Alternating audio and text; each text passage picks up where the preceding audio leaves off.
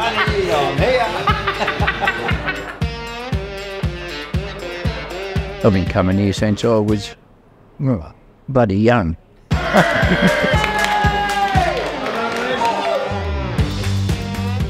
rode a horse into the pub for a bet. There you go, Ned. Come a beer on us. Threw a black snake on the pool table just for a joke. The pub is the centre of town. That's where all the locals come to meet. How's it going?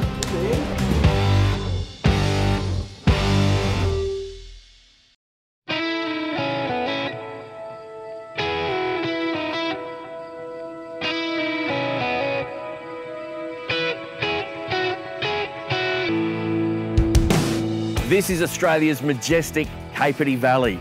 Two and a half hours northwest of Sydney, you'll find this spectacular part of Australia. And believe it or not, it is the widest canyon in all of the world. This valley offers breathtaking scenery and vibrant biodiversity, captivating tourists and outdoor enthusiasts alike. And right at the heart of this awe inspiring natural wonder sits the Royal Hotel Capertee.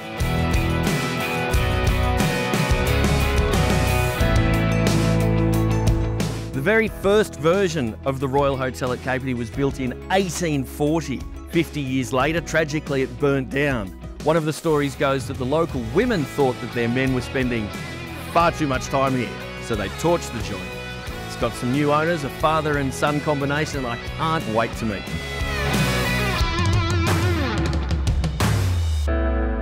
Jordan, mate, new owner, initial thoughts when you first came across this pub? Mate, honestly, I've been driving past it for probably 10 years. I didn't realise it was here till four years ago. So I fell in love with the building, just I couldn't get it off my mind, and it, we just ended up falling into it. We do like it. A little bit older, a little bit more rustic. Give us a tour. Easy. Pretty cool. Massive old stone wall as you as your grand entry. The whole front of this building is still heritage listed, which is good because it should stay the same forever. Does this work? Bing. This is where all the action happens. Mate, a pretty classy front bar. I love the cozy feel. You get the vibe straight away. Yes. I think we've managed to somehow cram every little bit of what an old pub should be into this bar. The old wood, the fireplaces, there's some good old history on the walls, some pictures of our locals, and we got the uh, the trusty step there, which our uh, shorter locals love. Huh? I haven't actually seen one in a pub like that before. The locals love it. They get right up on there and they like to tell us exactly how they feel, which is good. Plenty of beers on tap and a couple of uh, local ones as well. Yeah, yeah, we do love our local stuff. We got the boys from Three Tails. They are at Mudgee. They've been very supportive of us since we got here. You've got a, a library in the place. Yeah, mate, just another quirky aspect of the pub. You get your travellers on their own coming through here. Yeah, nice. And they will grab a book and go sit out there in the sun and have a beer and a read. A guide to herbs. If you've got, yeah, a bit of Bob Marley. I'm not sure if that's the kind of herb he means, but it is, it is Capertee. It is. People drop in here and go, oh, I came here 20 years ago and some bloke rode his horse into the bar. That's Chappo. An amazing man. A real good country character. Chappo is a gentleman. He'll walk a rose into the kitchen and give it to one of the girls. Old school way where you're just trying to make someone's day. What's your real name, Chappo? Mark David Chapman, same bloke who shot John Lennon. Is that right? Chappo, tell us about a little bit about your life story. I was actually born in King's Cross. No way. Yeah, God love mum. I didn't go to school much, um, and I've been here since I was about 14 when I come here. No way. How did how did you end up coming to Cape I got relatives that live at Running Stream, so they took me in Yeah. and looked after me. No way. Yeah, So pretty tough childhood, and then came out to the country, and things sort of changed a bit. yeah. Bought a house, got a block of land next to the cemetery. Nice and peaceful up there, mate. So what's kept you busy for uh, for the last however many years? Ah, doing the shearing sheds, contract fencing, uh, and the powerhouse. I've been retired now for a couple of years. Tell us about living in in Capertee and what's what it's been like. That's been good. Um, we had some exciting times here at the pub. I've rode a horse into the pub for a bet. The horse was in the bar for three hours. Another time, I don't know, I threw a black snake on the pool table. and It went down the hole. So I had to pull the lid off it to get it out, and then the bastard bit me. Why did you bring a black snake into the pub? I just for a joke. it worked till it bit me. And another time, the wild pig go through the front door one day, dropped the big shit, and then started coming back and attacking people. So it was cranky. I just got a board up and kept pushing it back. Tell us about the new guys that have taken it over. Father son combo running the place now. How have they? Yeah. Are they? Have they been welcomed in? Oh, they have been, yeah. And I put shit on them every day, Yeah, good. just just to keep them on their toes.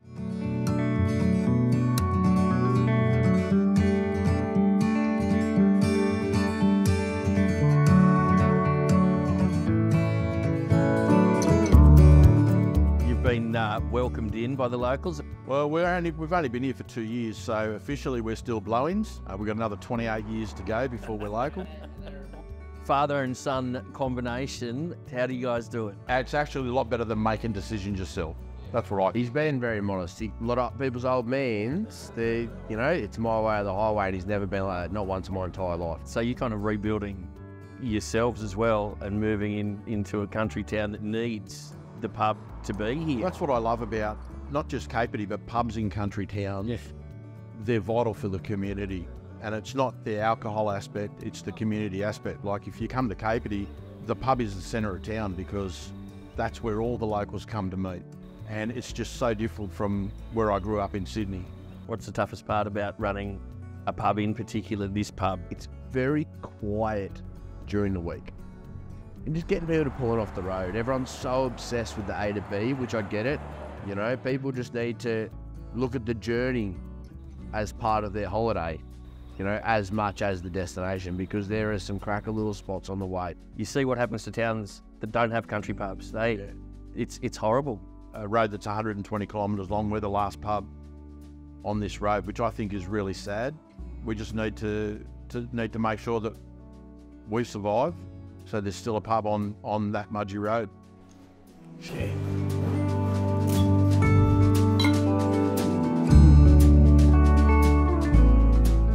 a big pub. How many rooms have you got? Mate, we have 14 rooms and about 27 beds within those rooms. Yeah, it's quite a lot. The whole footprint of the top of the building is just rooms. Yeah. Um, if you've got one of these, I think we've got six rooms on this side. Yeah. You can open that door and step out onto there for your morning coffee, and It's just gorgeous. yeah, really Get out is. here and make sure people are driving up the highway. Yeah, make sure they're doing 50 through our town, Yes. which is uh, few and far between, but there's some good ones in there. but yeah, these back decks are unreal. So you get people coming here and going, staying at the pub and then going and checking out some of the natural features of this awesome area. They are gone at daybreak because there's so much to do in the valley. Yeah, yeah, You know, everyone's out here adventuring. You've got the Turon River in the valley there, and it's just it, it, you can spend weeks. You can camp in the national park out there. Um, if you're adventurous, if you're a little bit less adventurous, and you want a little bit uh, more luxurious as well, you've got Turon Gates out there.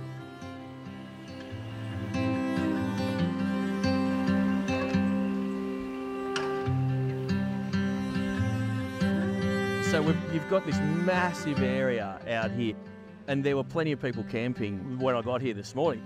We've actually just started accommodating all the RVs and things like that. We don't have any facilities to offer, but mate, if they're willing to just come out, park up the back, be fully self-contained, come into the pub and buy a meal once a day, we'd love to have them.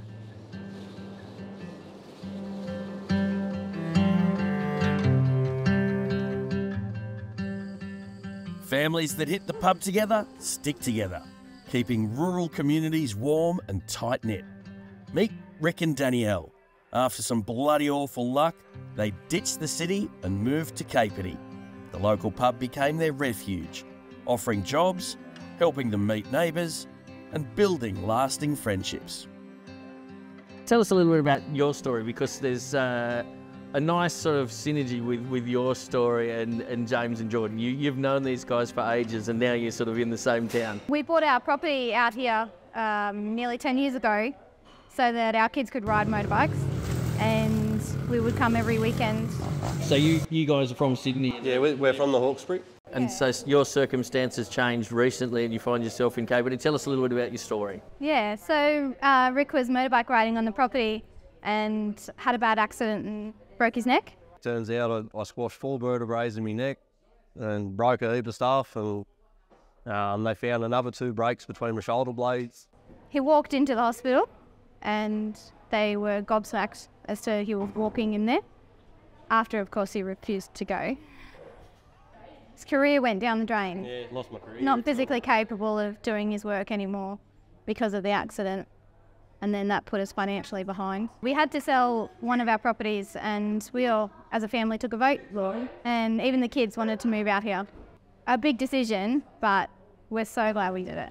Amazing. Absolutely freaking love it. So it was a shit accident, but Best, worst thing to ever happen. best worst best Yeah. worst thing to ever happen. That's such a cool way to put it. How are the kids uh, enjoying a, a very different lifestyle now? They love it so much. Whole big change for them to go to a small school, Yep. but it is an amazing school and they just get so much care and attention. And Yeah.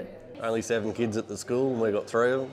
Ah, that's that's amazing. You've both picked up work here at the pub after moving to Capertee, knowing these guys. Yeah. I do all the mowing and gardening and that here.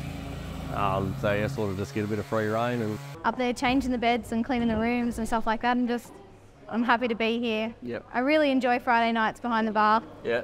um, working with the locals and That is unreal. yeah. That's good for you both, surely. It really is. Home life is so much better than it used to be, and being a plant mechanic in the city, yeah. I was always at work. Like I never seen the kids, never picked them up from school because I couldn't. Um, but now I'd, I'd pick them up from school nearly every day, drop them off nearly every day. It's a beautiful story. I'm sorry that happened to you, but I'm glad that So we. for everyone, uh, else, apart apart from the pain and everything, it's like Yeah. you know, it's just such a Yeah. nice story. I appreciate it. Thank you. Thank you for sharing. No worries. Thank you.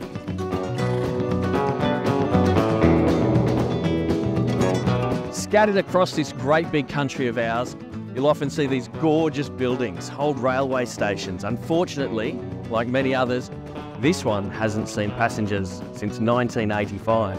And there are community calls to bring back passenger trains to stations like Capertee.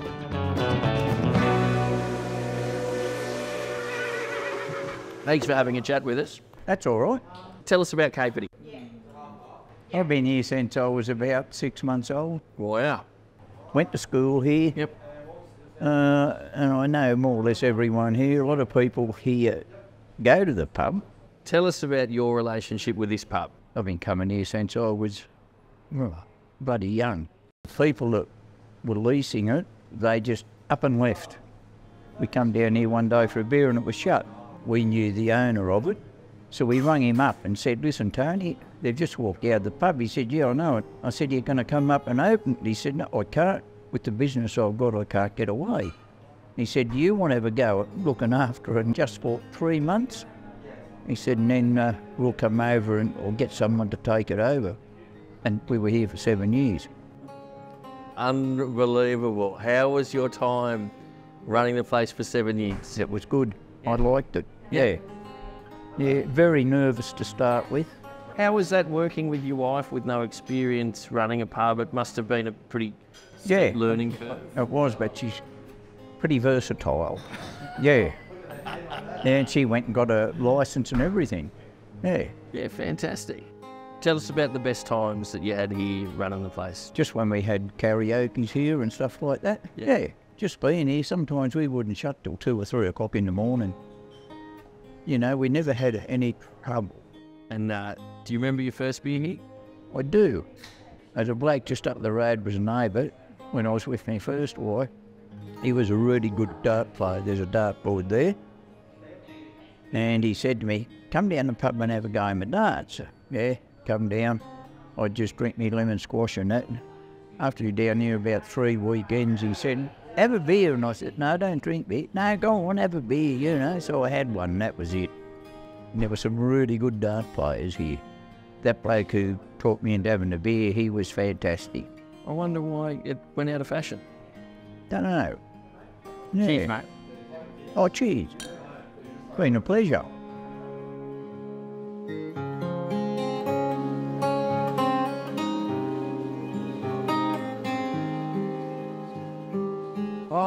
It's just fresh air and open paddocks and trees, and just so happens you have a craft distillery out the back as well in the pub. Another reason to come. Yeah, we do, mate. We do. Crafty's out the back here. Um, he specialises in whiskies, but he does a whole range of other alcohols. Most of the time, keep samples at the bar. So come in, let us know you, you're interested, and you can have a taste at the bar, and we sell everything there as well. Call me Crafty. Crafty. Yeah. Mate, we're in your shed where you spent a hell of a lot of time. Tell us about the place. Tell us about how you got into it. In the early 2000s, drinking whiskey. Then I got a few distiller mates, uh, and I thought, I want to have a crack at this. I really want to have a crack at this. And I was working at the time, and I said to my wife, I think we can make some money. it was a project, it was a single barrel, and I, I worked with a distiller mate of mine. And uh, so one barrel became 10. Uh, When it became 10, he said, Crafty, get your shit out of my shed, get your own shed. Yeah. Today, we're doing something pretty special whiskey honey liqueur. We do things a little bit different. We're rough and ready. The brand is rough and ready. What do you need to make whiskey? To make whiskey in Australia uh, or any brown spirits, it's two years. Yep.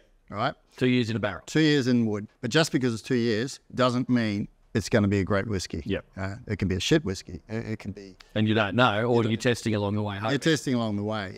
We got aged whiskey. We are we're, up to seven years now on some of our whiskey. Nice. Um, we're about roughly 800 meters above sea level. From a whiskey standpoint, it's great for uh, maturing the whiskey. Okay. Because we get uh, we get the heat in the summer, uh, the cooler nights, and in winter it gets freaking freezing. Yep. And when it's cold, that really works the barrels. Yeah. Amazing place. That's awesome. The locals like to sit out here and chat, and uh, we're having a lovely conversation about a very interesting car that we just saw up the road. Tell us a little bit about your car. We do the Beyond Bitumen Rally, which support Beyond Blue. How did you get into that? It was a drunken conversation During one night. COVID and during COVID. wild. Yeah. Found the car, VX Commodore. We target small businesses, pay a donation to Beyond Blue to put their business on the card. We went to pick the car up and I just went, oh my God, is that my car? I don't like attention. You can't do things that you're not meant to do. it's held all over the place. This year we start in Gundagai. They take the dirt tracks to get you to the next town. So the people that actually started the rally, their daughter committed suicide. It was their wish to try and help, bringing awareness of Beyond Blue to that community as well. That's really nice.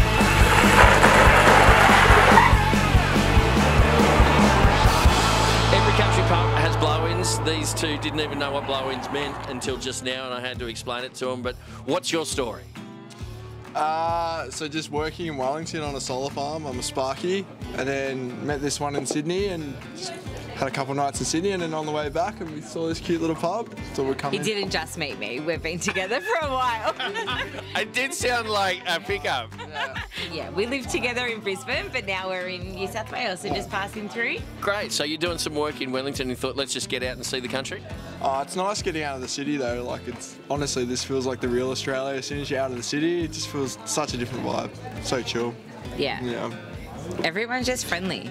Like no one's rude. Everyone's helpful. It's good. Yeah, good food, good drinks. Yeah, what Yeah. more do you want? Um, good after food and drinks. that comes with good drinks. Yeah. it's a flow-on effect.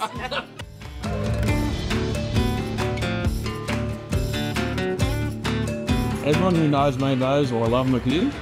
So I just thought, for my next tattoo, I just wanted to get something that everyone can enjoy.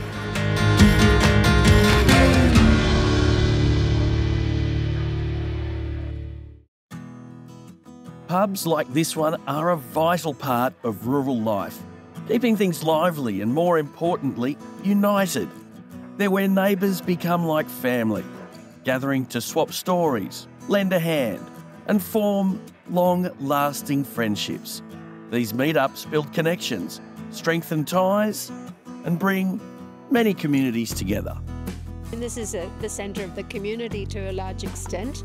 People gather here and um, you get information here, you get support here.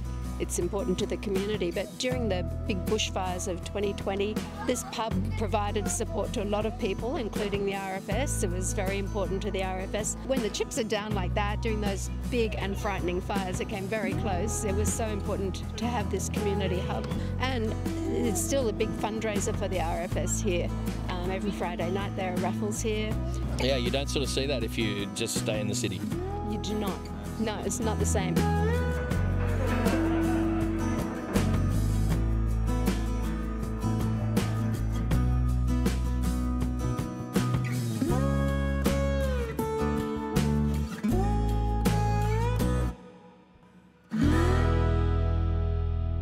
Tell us about the day. We've been out here Easter Saturday. You're sort of just finding your feet in the place. How was the day today? Phenomenal. We, we just had such a busy day, um, really successful day for us. Our staff have had to have worked extra hard today. It'd be nice to see that sort of um, turn into people, more people moving back into the country areas. Absolutely. I mean, once you get a taste of the country, you want to be there. Lifestyle in the country now is just so much better than in the city. It's a pretty special place. It is special. It is special. You know, I've been to plenty of city pubs. You walk in, you have a beer, you walk out. You know, country pubs are, are something different. We're, we're a real community and we welcome people into our community. It doesn't matter where you're from. Come on in. We're going to have a great time. Yeah, that's awesome. And are you busted? Are you tired? You're working a lot of hours. Man, I was tired on Thursday. um, we're now on Saturday, uh, and I got two more full days to, to go. But you know, at the other hotel, we dealt with the bushfires. We had storms that damaged the hotel. We had COVID shutdowns, which left us in a hole. You know, and it was just four, four and a half years of depression for me. But the last four weeks here have just lifted me right out of that, and I, I'm just so positive for the future. And a lot of that is because the community here has made us feel so welcome. Yeah. It just gives us so much hope for the future that you know we've turned the corner and and things are just going to build from here. This is our future. As we say goodbye to Capertee, we leave with a deeper appreciation for this incredible pub. The lives of the folks in this small village, its colourful characters and rich history, to the shared laughter and tears. This beloved establishment keeps the spirit of rural life alive and thriving. Here's cheers.